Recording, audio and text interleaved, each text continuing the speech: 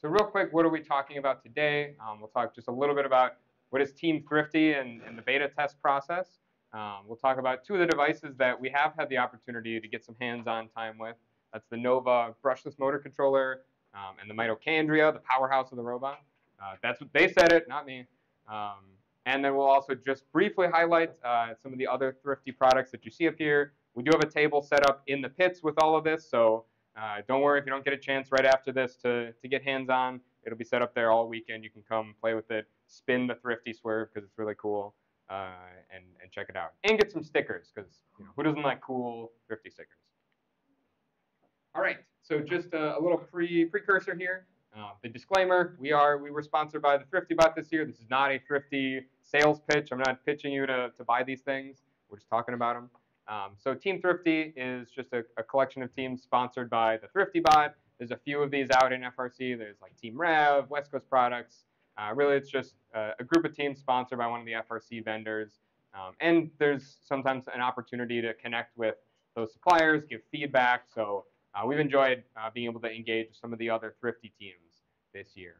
One of those opportunities is to uh, beta test some products. So as I mentioned, we've gotten some beta hardware of the uh, electronics here, um, some, some beta firmware and test config software. So we've set these up. We've used our KitBot that we built at the start of the season um, to swap out the motor controllers. Uh, we actually have the mitochondria installed on our competition robot right now, um, powering all five of our limelights off of it. So uh, we'll check, check back in at the end of the weekend to, to see how the testing goes. Um, but we get to set these up, test them out, uh, and then send feedback to Thrifty. They take that. Um, they've pushed out already on the motor controller like four or five different firmware updates. Um, so, and then we just work with them and collaborate. Um, is a really cool opportunity. So my day job, I'm in new product development, um, and this is it's it's very close parallels to that. Working with the students to come up with a test plan. What do we need to test? Both just kind of the basics and putting it to the extremes. How do we run the test, document it, provide that information so it's very clear to someone who wasn't there for testing. Um, so it's a really great experience for the team and the students as well. Microphone change. We have great technology except for only two microphones. Oh man. Um, so this is our Nova motor controller. It can be used with either a Neo or a Neo 550. Um, it is powered via the two pre-installed 12 gauge wires and has your fur pin um, can that is compatible with your rev can. It has a circular design, which has potential for future mounting on the back of your Neos. And the case is not finalized, They're thinking of making it metal for better heat dissipation. And there's a 10 pin data port, just like the Spark Max for the absolute encoder, vector encoder, forward and reverse limit switch, and the analog input. Um, and then it also has a USB-C port for data to the Thrifty config tool and the true status light LEDs that shows motor direction and fault codes. Um, they also showed off these two boards at Champs. Um, this one is a slider board where you can um, plug it into the data port and turn the motor on and off and control the speed without connecting it to the PC. And then the breakout board, which shows the status LEDs for the encoder, limit switches, and analog sensors. The, uh, the slider board there is pretty neat. Um, as Bowden mentioned, they had it at Champs. This is, uh, I'm sure other teams do this. We've got like off-the-shelf PWM generators plugged into like a old, old, old Spark. Uh, it's a big, hefty box, and so being able to just plug this little board on if you want to test a prototype, do some diagnostics on your robot, it's pretty cool. All right.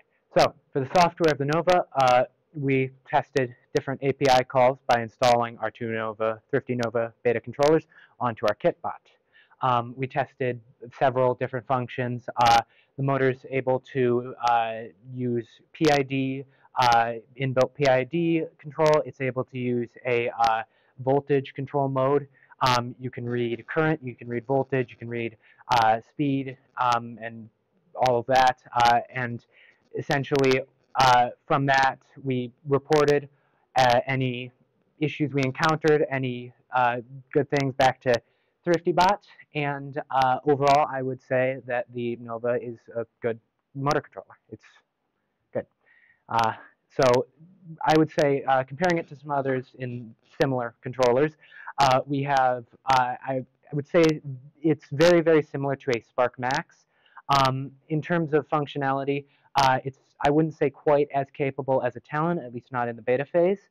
Uh, however, overall, it was a good controller. Yes. So. Uh, you can see your testing. Yeah. Yeah. Launching it out. So if you if you have used uh, Spark Maxes um, or even the Talons, it's very similar functions, right? To be able to set some of the parameters, get the speed, you know, set output. It's it's not going to be anything radically different. Um, as for the config software, it's up to standard. Uh, the I would say the best thing about it, at least from my perspective, was firmware updates. It makes those very quick and easy.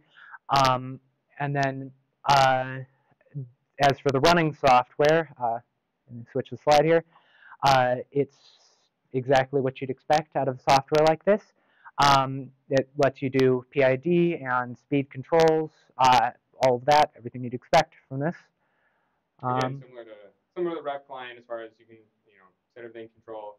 You can see it's uh, version 0.1, so it's still very early software. I'm guessing that the software launching with these is going to look pretty different from this. But uh, as Keegan mentioned, for updating firmware, real quick and easy, um, and then uh, being able to just plug it in and you know zip the motor back and forth was was minutes to get that up and going. So the mitochondria, as it as they advertised, it's the powerhouse of the robot. It's a buck boost regulator that provides 10 amps at 5 volts, which gives you a total of 50 watts. Uh, your voltage input range is from 4.5 volts to your boost voltage. There's a CAN connection for your monitoring and control. And the boost rail is configurable from 15 to 24, which is your boost voltage. Then the max board draw is 120 watts.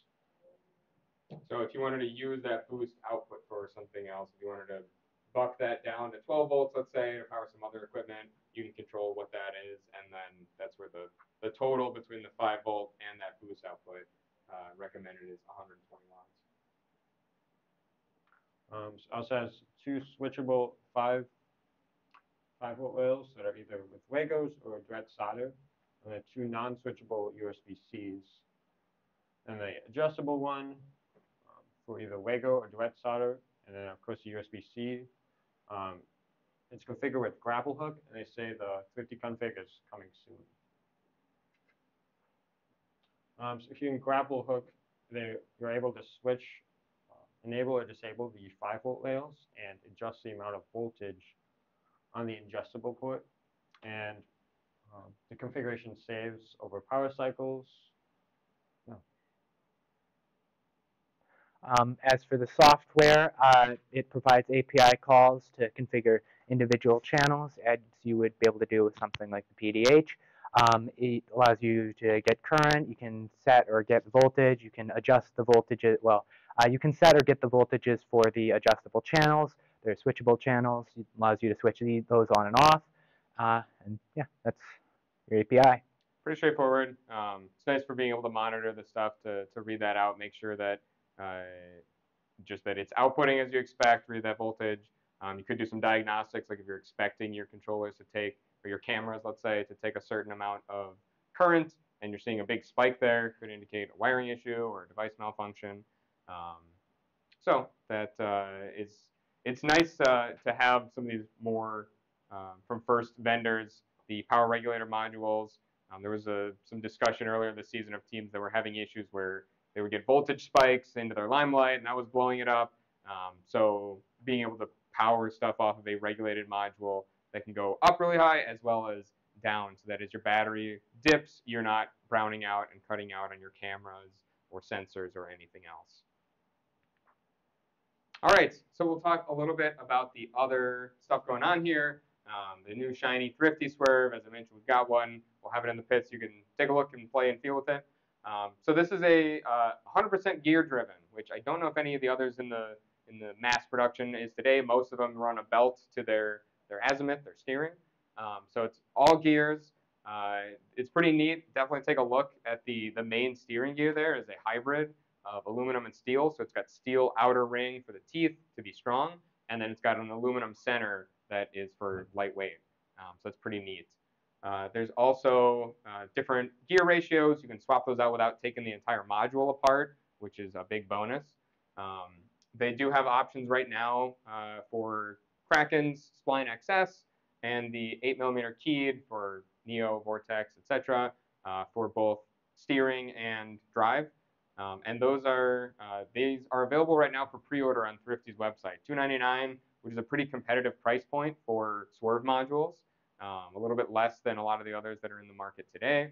Uh, that includes the full module and gear set, um, a 4-inch uh, billet wheel, and then right now that does include the Thrifty Absolute uh, mag encoder on there as well that you see pictured. Um, it does not include the motors themselves, which is common. Uh, it also doesn't include tread on the wheel. Thrifty does sell neoprene. You can buy that to put on. You could 3D print. Some teams are starting to do 3D printed TPU.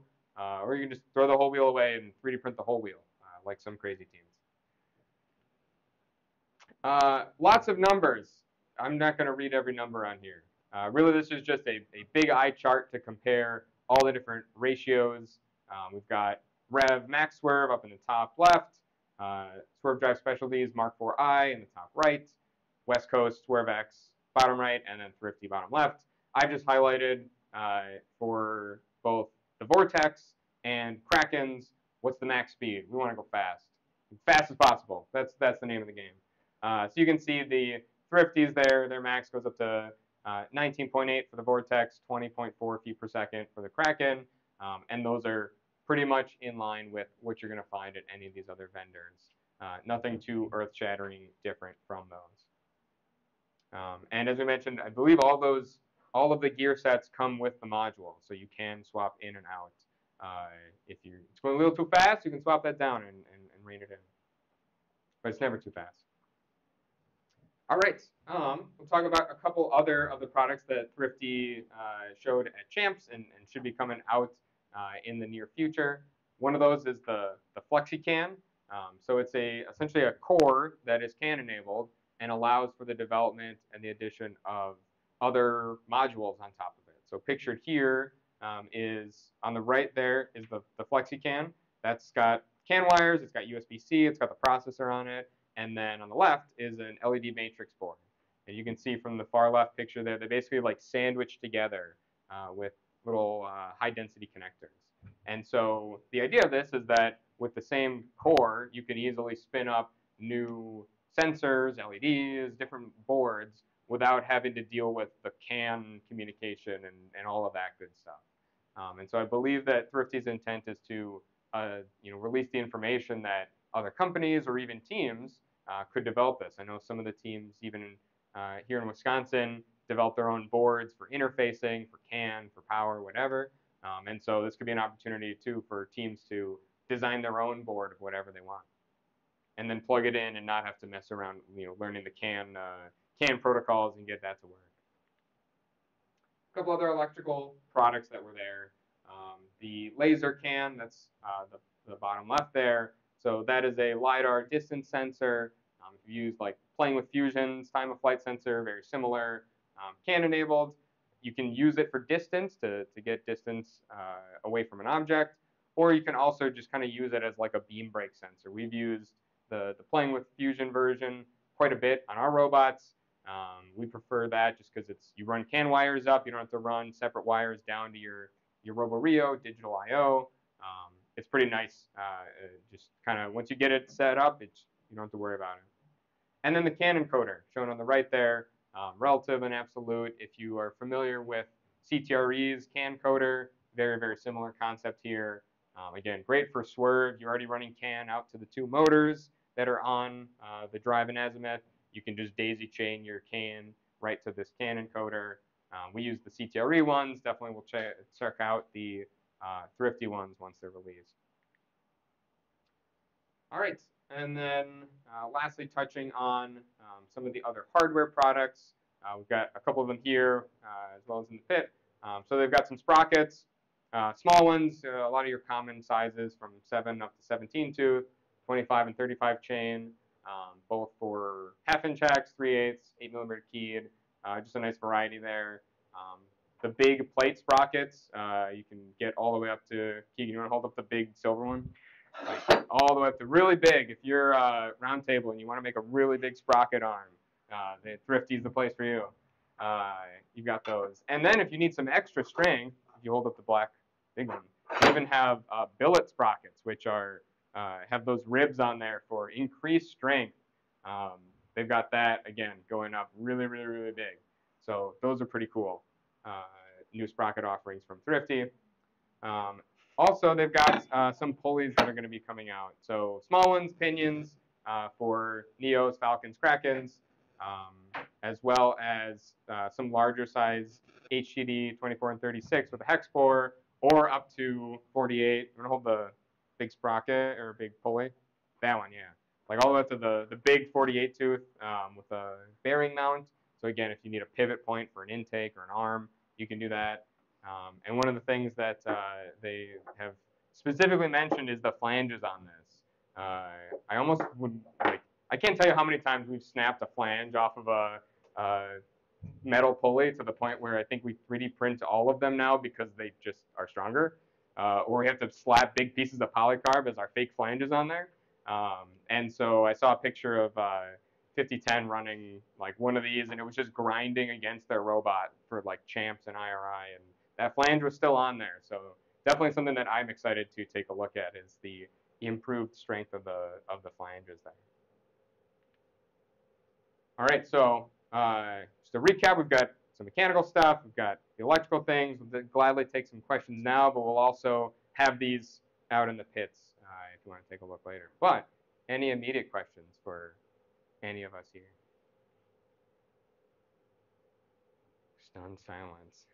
For the motor controllers, I guess, what is like the active benefit of using like uh, Nova installed over like uh, Talon or the um, Sure. Um, I would say its primary benefit is ease of use, ease of installation. All of the software is really streamlined and everything. It's very nice to use. Uh, and then if anybody has yeah, it's uh, to some extent it's going to be right. You can kind of just pick pick anyone, and they're all going to have a lot of the same features to it. Um, clearly, from the the shape of this, right? I think Thrifty's uh, thinking of trying to make this maybe a hybrid where it snaps onto the back of a motor, and so that could be a, a plus if they, you know, in their final production version, it mounts on. It's nice for packaging, um, and then just it turns into uh, software support as well, right? Rev's got software. CTRE has software that can do different different ways of doing control loops or you know being able to read values back. Um, so I think at the end of the day, it's going to be what what makes sense for teams to use. I wouldn't say like throw all your other motor controllers away and spend all the money to buy new ones, but if you're in the market for some new motor controllers, uh, this looks like it's a, a strong offering compared to the rest as well. Any other questions? So you'd be able to add like some of these to, like you could also use the Spark Maxes or something like that too. You could just use this on a part of your, like if you're using it for your mechanism or something like that, you could use just that for that. Yep, absolutely. But what what kind of what controllers do we have on uh, Kitbot right now that we put these on? Here's Spark. So we got uh, is that for drivetrain too? Yes. Okay, so yeah, so we've got Sparks on on our Kitbot that we had. We just we basically took two Sparks out and plugged these two in, and you know after getting the the software updated, we were good to go. And I will say for the software, the code was incredibly easy to update for me. It was pretty much a drop-in replacement. Mm-hmm. Excellent. Any other questions right away? All right. Well, thank you guys very much. Feel free to, looks like we've got a little bit of time before our next presentation. So if you'd like, feel free to come up and get hands-on with this, grab some stickers, um, and then we'll get set for the next workshop. Thank you.